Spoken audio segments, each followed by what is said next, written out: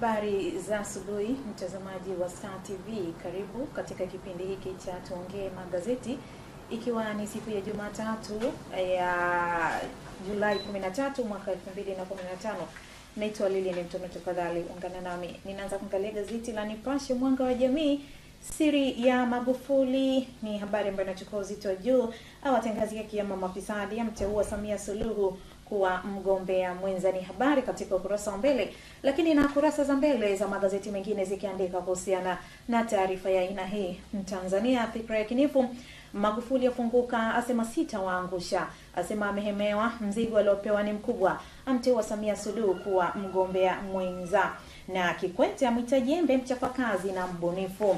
Gazeti la Zanzibar Leo yametimia CCM 2015 ni Magufuli, Samia Suluhu mgombea mwenza. Dr. Shein asema kasi zaidi ya maendeleo, utekelezaji ilani huwabainishwa.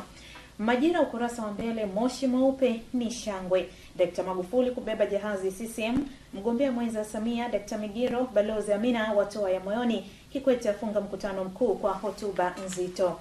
Gazeti la Jambo Leo, CCM Magufuli ni habari katika ukurasa wa mbele, na yaliyoandikwa kwenye Taifa Imara, ushindi wa bao la mkono uanzia CCM, watumika kukata jina la Lowassa kwa hila, sasa kuviumiza vyama vya upinzani Oktoba 25.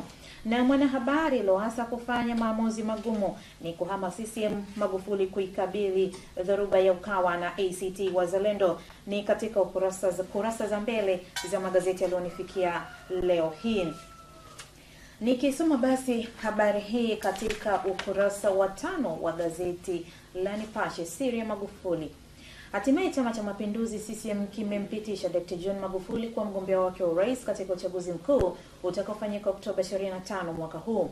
Magufuli alipitishwa na CC baada ya kupata ushindi wa kishindo wa kura 2104 kati ya kura halali 2416 zilizopigwa sawa na asilimia 87.1.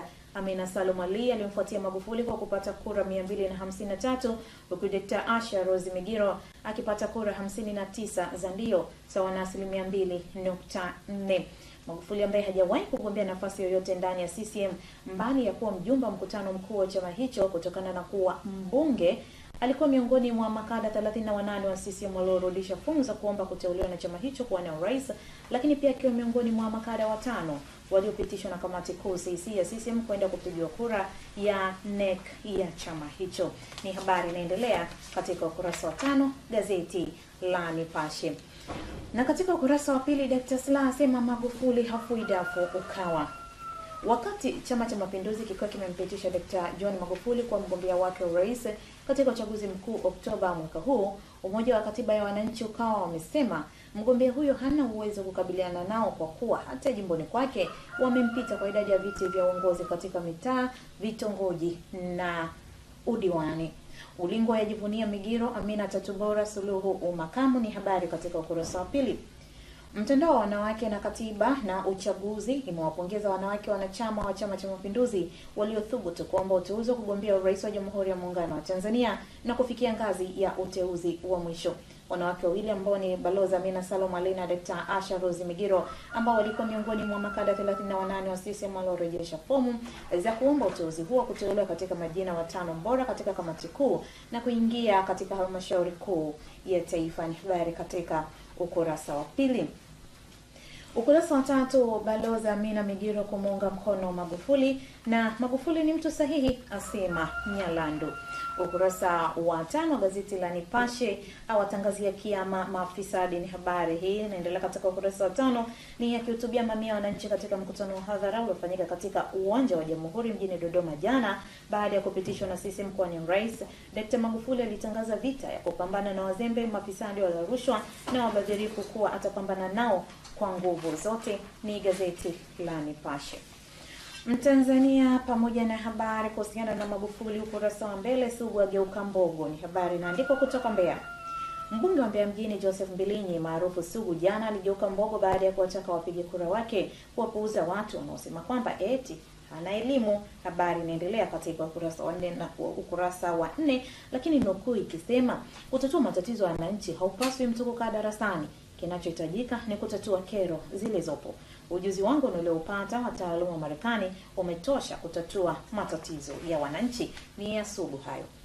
Na katika ukurasa wa pili, Kikwete amwita Magufuli jembe.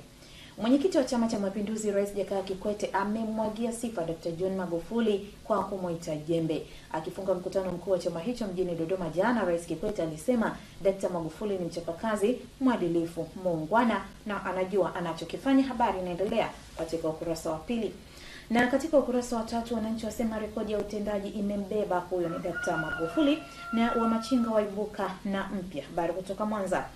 Wafanyabiashara wadogo wa machinga mkoani Mwanza wamesema wanataraji kurejesha kadi za vyama vya siasa vya upinzani na kujiunga na CCM baada ya chama hicho kumchagua aliyekuwa waziri wa ujenzi Dkt. John Magufuli kuwania kiti cha urais. Ni habari katika ukurasa wa tatu na katika ukurasa wa nne kwa urefu habari ikiandikwa kutokea ukurasa wa kwanza, asema sitawaangusha. Huyu ni mgombea urais mteule wa CCM Dr. John Magufuli amesema ameelemewa na mzigo aliopewa na kupeperusha bendera ya chama hicho katika uchaguzi mkuu unaotarajiwa kufanyika Oktoba 25 mwaka huu. Ni yaliyoandikwa kwenye Mtanzania. Zanzibar Leo kurasa wa mbele wote ukiwa na habari kuhusiana na yaliyojiri jana huko Dodoma, na katika ukurasa wa pili hayo yakiandikwa kwa urefu kabisa kutoka Dodoma. Na nikiangalia katika ukurasa inaandikwa mkutano mkuu wa CCM umemchagua waziri wa ujenzi Dr. John Magufuli kupeperusha bendera ya chama, bendera ya chama hicho katika uchaguzi wa rais wa Jamhuri ya Muungano wa Tanzania, kwa urefu kabisa katika ukurasa wa pili. Ukurasa wa tatu kimataifa, shambulio soko kuu Chad laua watu kadhaa. Ni habari kutoka Chad na Beijing China. Kimbunga cha piga China. Kimbunga cha Hong kimepiga nchini China katika mwambao wa kusini mwa mji wa Shanghai jana. Habari inaandikwa kwa urefu katika ukurasa wa tatu. Na waziri mkuu Serbia apigwa mawe. Ni habari kutoka Sarajevo, Bosnia. Ni habari inasema waziri mkuu wa Serbia amepigwa mawe na kufukuzwa na raia wa, wa Bosnia katika hafla, hafla ya ukumbusho wa miaka ishirini ya mauaji ya halaiki ya watu. Ni habari imeandikwa katika ukurasa wa tatu. Ni kwa kifupi Zanzibar Leo. Majira pamoja na habari kuhusiana na Dr. Magufuli. Tukiangalia katika ukurasa wa tatu, mapya tena tukio la ushirikina kwa walimu Bunda. Wakati shule za msingi katika wilaya ya Bunda mkoani Mara zikifunguliwa leo baada ya kumalizika likizo ya nusu mwaka, walimu wanne wa shule ya msingi Nambaza iliyopo jimbo la Mwibara wilayani humo wamesema hawako tayari kuendelea kufundisha shuleni hapo kutokana na aibu waliyopata kwa kufanyiwa vitendo vya kishirikina. Walimu hao walitoa msimamo huo jana baada ya wenzao wanne kuhamishwa shuleni hapo na kupelekwa vituo vingine vya kazi ili kuwaepusha na vitendo hivyo ambavyo walikuwa wakifanyiwa usiku wakiwa wamelala. Habari hii inaandikwa katika uh, ukurasa wa tatu, lakini kwa